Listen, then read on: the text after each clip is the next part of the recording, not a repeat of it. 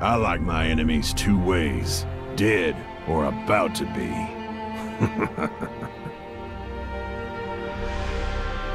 Hope you weren't planning to die of natural causes.